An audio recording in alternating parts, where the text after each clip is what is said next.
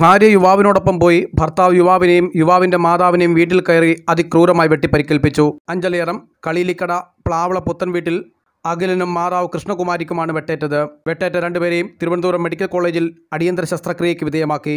കഴിഞ്ഞ രണ്ട് മാസം മുന്നെയാണ് വെട്ടിക്കവല സ്വദേശിയായ സജിയുടെ ഭാര്യ ഏറം സ്വദേശിയായ അഖിലിനോടൊപ്പം താമസമാക്കിയത്.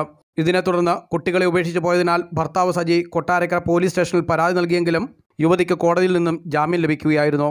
ഇന്നലെ വൈകിട്ട് അഞ്ച് മണിയോടെ സാരിയും മറ്റു സാധനങ്ങളും നൽകാനെന്ന് പറഞ്ഞ് സജി യുവാവിന്റെ വീട്ടിലെത്തുകയും കയ്യിൽ കരുതിയിരുന്ന വാളുകൊണ്ട് ഭാര്യയായിരുന്ന സ്ത്രീയെ വെട്ടാൻ ഒരുങ്ങുകയും അത് തടഞ്ഞ യുവാവിനെയും യുവാവിന്റെ മാതാവിനെയും അതിക്രൂരമായി വെട്ടിപ്പരിക്കേൽപ്പിക്കുകയായിരുന്നു. അഖിലിന്റെ ഇടതു കൈക്കും മാതാവ് കൃഷ്ണകുമാരിയുടെ വലതു കൈക്കുമാണ് സാരമായി വെട്ടേറ്റത്. വെട്ടേറ്റ രണ്ടുപേരെയും നാട്ടുകാർ അഞ്ചലിലെ സ്വകാര്യ ആശുപത്രിയിലും പിന്നീട് തിരുവനന്തപുരം മെഡിക്കൽ കോളേജ് ആശുപത്രിയിലും പ്രവേശിപ്പിച്ചു. സംഭവത്തെ തുടർന്ന് അഞ്ചൽ പോലീസ് നടത്തിയ അന്വേഷണത്തിൽ യുവാവിനെ വെട്ടിയ സജിയെ പോലീസ് കസ്റ്റഡിയിലെടുത്തു.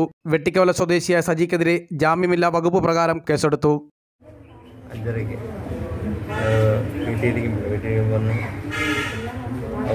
കല്യാണ സാരി കൊടുക്കാനാണെന്ന് പറഞ്ഞൊരു കവറിനകത്ത് സാരിയും എടുത്തുകൊണ്ട് വന്ന് സാരി കൊടുത്ത് രണ്ട് സെക്കൻഡ് ശേഷം വഴിപാട് എടുത്ത് വെച്ചു.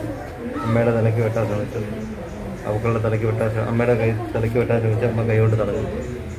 അവക്കളുടെ തലയ്ക്ക് വെട്ടാൻ ശ്രമിച്ചത്. ഞാൻ കൈ കൊണ്ട് തടഞ്ഞു എന്റെ കൈക്കും. News bureau Anchal